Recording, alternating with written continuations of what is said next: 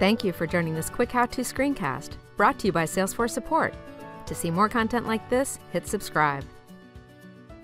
In this video, we'll learn how to add related lists to a Salesforce Maps marker layer. Related lists display data for other Salesforce objects that are related to the current Salesforce Maps base object. Create a new or edit an existing marker layer and click Next until you get to the Marker Pop-ups tab on the Salesforce Maps Marker Layer editor. Open the Related tab and click Add a Related Object.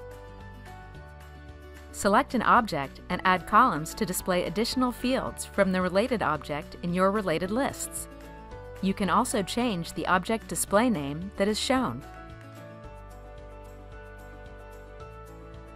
The options on the lower half of the page allow you to choose the number of records to display.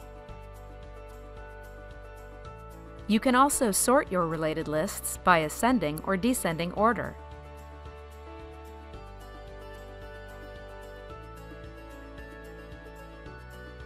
Click Save and Plot or Save and Refresh to save your changes and plot this marker layer on the map.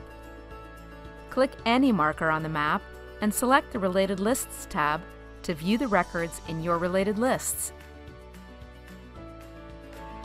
For more information, check out help.salesforce.com or join us on the trail at trailblazer.salesforce.com.